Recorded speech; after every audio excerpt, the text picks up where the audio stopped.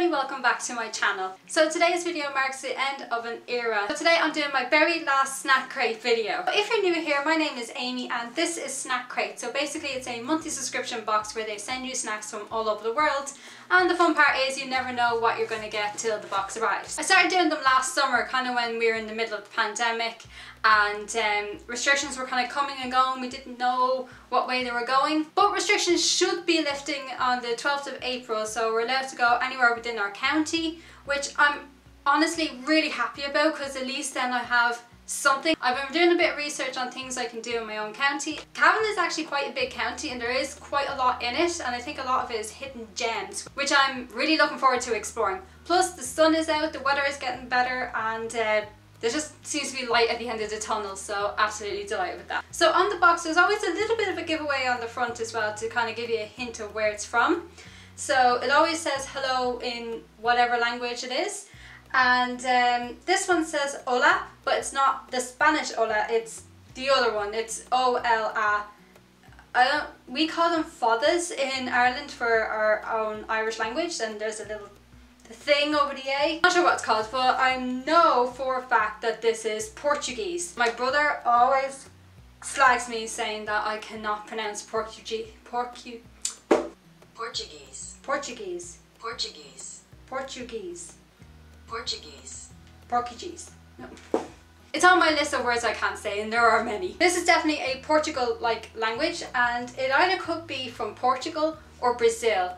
I'm as much as I love Portugal, I'm kind of hoping it's for Brazil because I know nothing of what kind of snacks they eat over there. So um, let's open it up and find out. Right, so let's open it up and see what's inside. This is my very last box, so hope it's a good one. Right, let's see what we got. This time we have, come on.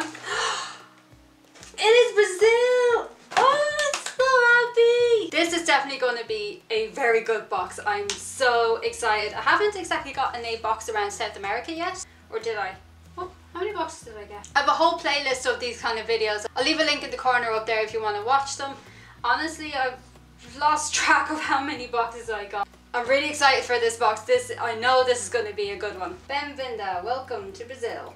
Got before I start as well, you probably already got this from the intro, I'm really bad at pronunciations and languages and I'm really sorry if I mispronounce anything. In fact, Brazil has been the largest producer of coffee in the world for the past 50 years. The size of Brazil with the Amazon rainforest, that's no surprise whatsoever. Committing an environmental crime on Sundays and holidays is an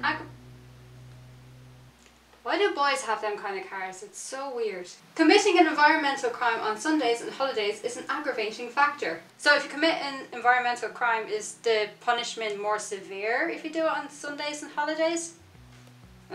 It should be severe anyway. Uh, let's see what we got. So always, always, always they give you crisps as well to start with. So let's see what these are. These are Fandangos. I can't read most of that. I'm guessing it's some kind of cheese and corn kind of flavour. Crunchy corn that have a strong and yummy cheesy flavour. We are truly fans of these snacks. Okay, so it's cheesy corn snack. That sounds good. I love corn snacks. Next we have is Piraquê. Piraquê? Piraquê? Might be pronouncing that wrong. These crunchy crackers are flavoured with the tomato herb savoury goodness of pizza. I noticed there's a lot of pizza flavour stuff in the world. I've got many boxes with pizza flavour, crisps and crackers and all sorts, so we got chocolate! I am a huge fan of chocolate and I'm really happy, especially with a Brazilian box where they produce so much cocoa beans there as well. I'm so happy and I got four chocolate bars this time. Just keep adding more and more chocolate to the boxes. I'm kind of sad now that these are finished. We have a Kit Kat and it says lemon lemon. These are pictures of limes though. Is this lime flavour?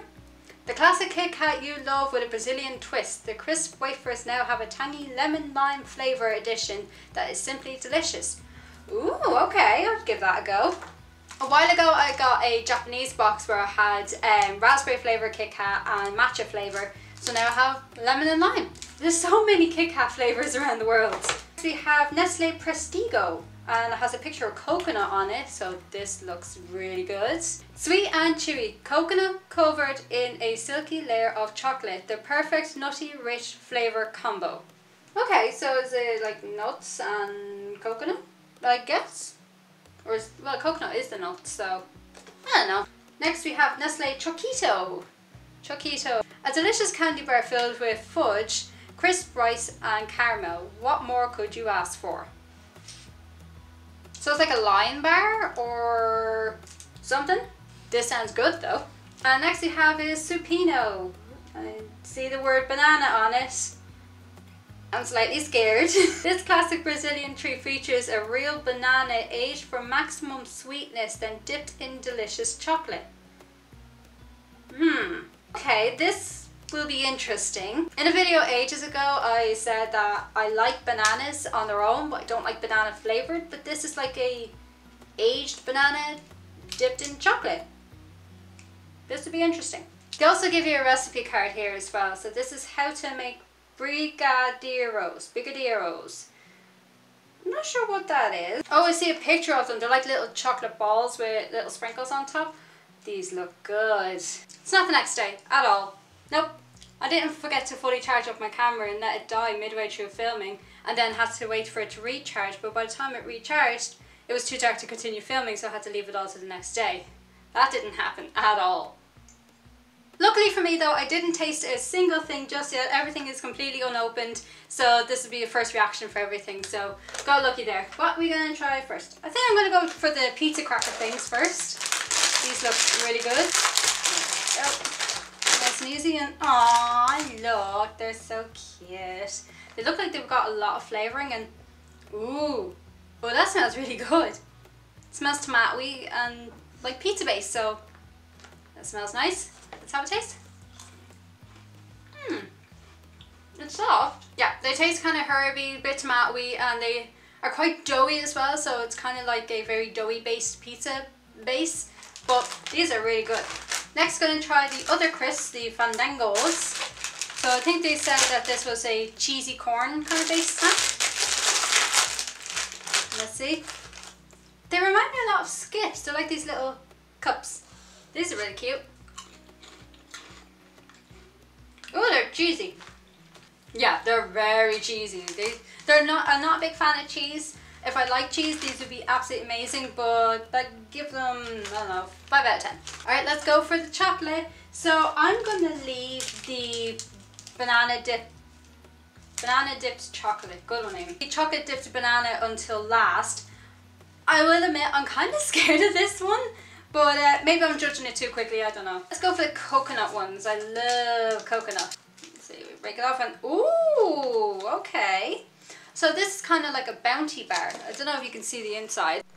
But that's the inside there anyway, and it looks absolutely amazing. I'm probably one of the few people in the world that actually really like bounty bars. So give that a taste. Mmm. It's exactly like a bounty bar. Mmm. But that is delicious. I really like that. The only thing I don't like about the coconut flavor bars is that it gets all over your teeth. Just trying to get it out. Next we're going to try the lemon and lime Kit Kat. I honestly don't know what to expect with this one. I hope it's not like sour kind of way. I just take out one line there. And oh, it smells fruity. That smells really good. Yeah, I really don't know what to expect with this one, but we'll give it a go. I don't know. It's kind of weird. I'm glad it's not sour or anything. It's just, I don't even know how to describe it. It's just, it's weird. It's definitely very like limey, but I mean, it's nice, but I don't know, it's just, it's weird. Next then I'm to try the Choquito. Oh, making a mess. So my mom was saying that it's kind of like a catch bar if you have that in your country. It's kind of like chocolate fudge, Rice Krispies, and then chocolate on the outside. So, see what it's like. I don't think I actually had a catch bar, but I'm thinking something like a toffee crisp or a lion bar. See, break it apart, and ooh, well, the chocolate is very thick on that. So that's what the inside looks like, and it looks really good. I don't know what the inside is. Is that supposed to be nougat? Because it says that it's supposed to be caramel, but maybe it's hardened caramel. I don't know. Ow. That looked pretty nice. Yeah, the chocolate is really thick on it. The caramel, it does taste like caramel, but it's like hardened kind of caramel, but not like toffee. I don't even know what I'm saying anymore. So this is the one I'm scared about. This is the dried banana dipped in chocolate. I have very strong opinions about bananas. I like bananas on their own, but in my opinion, banana flavored stuff should not exist. And I'm scared, but we're gonna do it. It's dark chocolate. I don't like dark chocolate. Oh, this is gonna be a disaster. I'm not sure how I feel about this. The inside kind of just looks like the inside of a raisin. Oh, no, it smells bad. I'm so sorry to the people of Brazil, but this is just weird. Fair warning, I have very sensitive gag reflexes, so here we go. no. Oh, no, that was awful. I don't even know how to describe that. It's just, it's horrible. it doesn't even taste like banana. It tastes bad. Like, it just tastes like rotten food. Uh, no, not eating that again. I'll stick to the Bounty Bar, thank you very much. Oh. Need to get it out of my mouth. Uh, big tea's gone cold. This, this is a disaster. So that is it for these snack crate videos. I'm kind of sad that the last chocolate bar was so bad. I really wished it surprised me, but yeah, that, no, definitely not. Huge thank you to everyone who has been watching this series. There was so much fun to do. If you want to get your hands on your very own snack crate as well, I'll leave the link in the description to their website. I'm not paid or sponsored or anything like that by Snack Crate. I just got them because I wanted a taste of the world while we couldn't get out and explore it. So let me know down in the comments as well what snack you would like to try. Don't say the banana one. Please don't say the banana one. And if you haven't already, I'd really appreciate if you subscribe to the channel and also leave us a big thumbs up. Also, you can follow me on social media. I'm on Facebook, Instagram and Twitter. I'm mostly active on Instagram and Twitter. So next video is going to be hopefully my last video in this room before I can get out and vlog again. So restrictions are lifting April 12th. I'm really excited to get even just beyond the 5k limit to go out and explore my own county. At least it's something. And the weather is getting a bit nicer as well, so it would be nice just to get out and explore again. So thanks for watching, stay safe, wash your hands, look after each other, and I'll see you for the next video. Bye!